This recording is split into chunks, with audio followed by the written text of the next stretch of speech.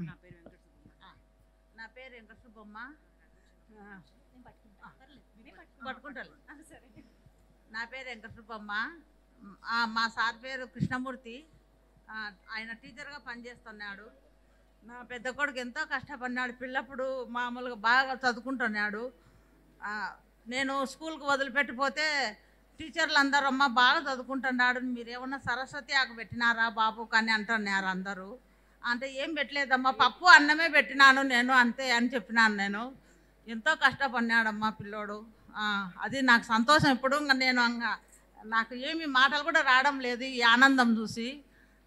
మీరందరూ బాగా సినిమాను సక్సెస్ చేసి నా కొడుకు తీసినందుకు అందరూ నా కొడుకు బ్లెస్సింగ్స్ ఇవ్వండి అమ్మా మీరు అందరూ.